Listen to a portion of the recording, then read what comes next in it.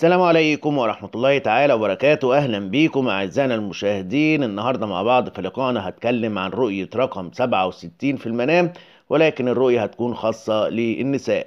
ونبدأ أول حاجة كده مع بعض للفتاة العزباء ورؤيتها الرقم 67 في المنام ولكن هتكون بتفاصيل معينة وهنقول إن الفتاة العزباء وإن شافت رؤية في المنام إن رقم 67 عبارة عن إنه مكتوب بالمصابيح المضيئة داخل الرؤية. فالرؤية هنا هتكون دلالة ليها على قرب خطوبتها وإن كانت بالفعل في الواقع مخطوبة فالرؤية هنا هتكون دلالة ليها على قرب تحديد ميعاد الزواج. وكمان هنقول إن كان اللي شافت الرؤية دي امرأة متزوجة ونفسها في الواقع في الحمل وتمنت من ربنا سبحانه وتعالى الحمل والإنجاب وشافت بقى الرؤية السابقة دي وإن هي إن رقم 67 مكتوب بالمصابيح المضيئة فالرؤية هنا هتكون دلالة ليها إنه إن شاء الله سبحانه وتعالى اقترب ميعاد الحمل والرزق بالمولود.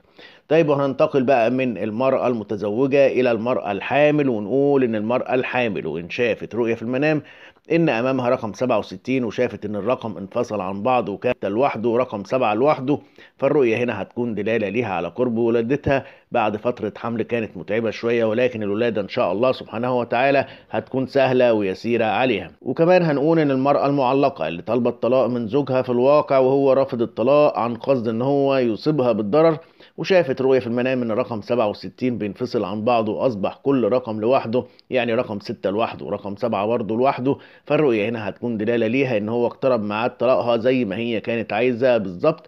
بعد طول بقى عناء وتعب مع زوجها وإنها في الفترة المقبلة هتبدأ تعيش حياتها في راحة وهدوء. والله سبحانه وتعالى أدرى وأعلم. وأسعد الله دائما منامكم. وأشكركم على حسن استماعكم وإلى اللقاء. والسلام عليكم ورحمة الله.